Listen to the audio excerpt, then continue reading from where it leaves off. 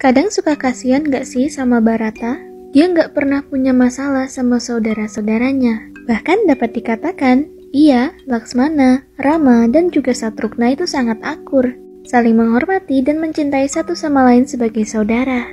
Dia juga gak pernah sekalipun kepikiran untuk naik tahta. Dia gak mau jadi raja di Ayodhya.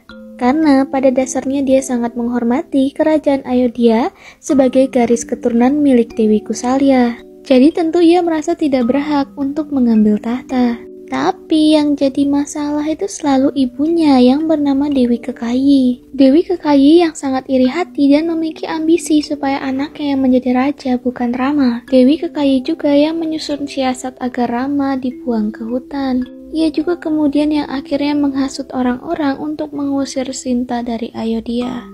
Jujur kalau jadi Barata itu pasti hidupnya capek banget. Apalagi karena tingkah ibunya. Tetap ngotot supaya Barata jadi raja. Segimanapun Barata terus membantah, ibunya nggak mau dengar. Dan malah makin menjadi-jadi. Kalian ada yang relate nggak nih?